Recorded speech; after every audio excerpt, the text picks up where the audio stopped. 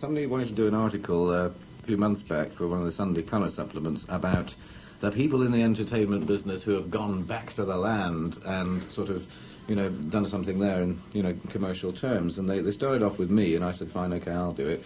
Who else have you got in mind? They said, well, we're rather hoping you might be able to tell us because, uh, you know, who the other people are. And I said, well, I can't think of any. I mean, there's Roger Daltrey supposedly has a trout farm. There's some guy from Duran Duran who's obviously, uh, you know, uh, temporarily lost his his, uh, his head and decided to go to Cirencester College of Agriculture and, and bought a 400 acre farm in Gloucestershire. And Must have been mad, actually. I mean, you know, he's, he's, he's going to, if he's very lucky, you know, make something in the order of about 20,000 a year out of doing that. And um, if you've been in Duran Duran, 20 grand isn't going to pay the, uh, you know, the haircuts, let alone the, the clothes bill, is it? Very true. if you'd have been talking, for instance, about 20 years ago, possibly uh, th- this could have been the case. I mean, you could have made a very, very lucrative li- living out of farming, which brings me on to the brand new album. Um, Crest of a Knave.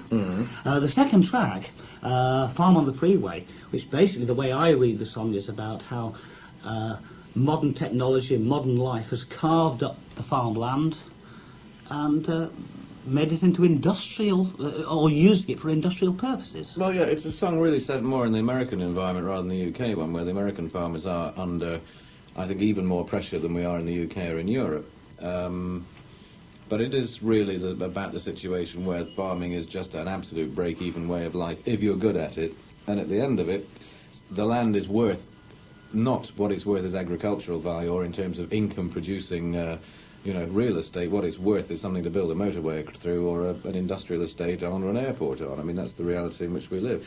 We're now looking at the reality where farming land on, you know, marginal, you know, bottom end of grade three or into grade four land is really completely unviable in farming terms and is likely ultimately to become sort of uh, meadowland with, uh, you know, covered in grass and wildflowers for people to, to sort of tramp about and have picnics in and leave their litter in, which is the, the sad state of, of what has been a lot of uh, Britain's agricultural producing land since the war. Because you remember, and we're going on here about farming, which nobody really wants to hear, but since we've, you know, I've, I've started, so I'll continue.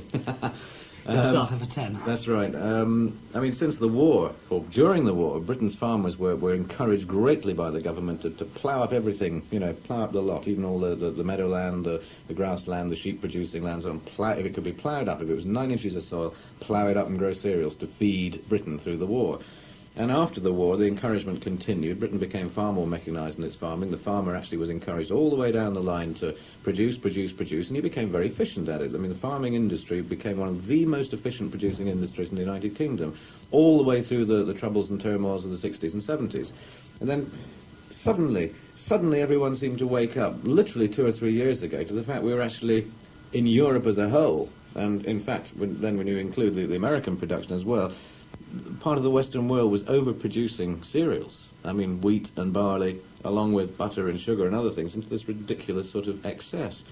And then suddenly the farmers became the bad guys. You know, there were all these sort of industrial people making lots of money, raping the land and producing something that nobody needed, which isn't really the case at all. But I would accept there's a very realistic case now for people who don't need to be farmers shouldn't be doing it. And that, in the agricultural sense, I would say, might, might apply to me. The only thing is that I care rather a lot about the land, and I rather worry that if it's not being at least perhaps less intensively farmed, if it's not being farmed at all, it will finally end up being land which just does revert into something which I don't think gives uh, any kind of respect ultimately for the British countryside, because I don't think you can turn it into a national park for people to sort of tramp about in, because people do abuse it. I mean, we see it all the time, and it's it would take uh, a great change of, of people's ideas about the countryside before I think uh, land could be usefully and politely turned over to, to people to, to sort of consider as amenity land.